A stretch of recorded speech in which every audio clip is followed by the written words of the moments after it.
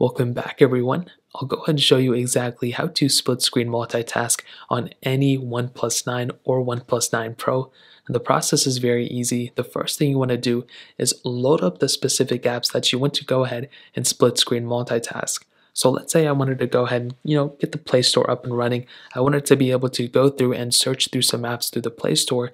But at the same time, let's say I wanted to go on Google Chrome and I wanted to go ahead and, you know, look at whatever this web pages are or even look at other web pages. Well, all you would have to do is have those two specific apps in the background already loaded in RAM management. And then you have to do is just scroll up just like this to get into your multitasking panel. And at this point, you want to find the apps that you want to go ahead and multitask. So as you can see, I have these two. I have some other apps loaded in the background too, but I want to use the, you know, Chrome browser and the Play Store at the same time. What I would do is I would go ahead and get into the, you know, Chrome browser like this. I would go ahead and hold down the specific app just like this. I would then see these three little options. One of them does say split screen.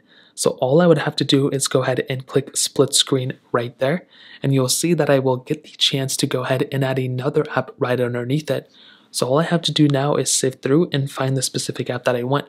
As you can see right here, I have this one. So I'm going to go ahead and click on this specific app and you can see I've just now successfully split screen between two different apps. So I have the Play Store at the bottom and I also have the Chrome browser up top. And you can see I can use both just like so. So if I want to scroll through, it's, it's the same thing. And that's pretty much the process. Like I mentioned, it's very easy.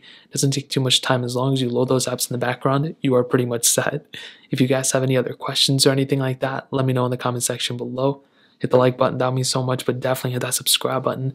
Every single subscriber that we get really does count. So it means so much if you guys can hit that. Also check out the other links down in the description as well. My Twitter, my Instagram, my other channels. More importantly, everything else, I love every single one of you guys. Hopefully I'll catch you guys in the next video.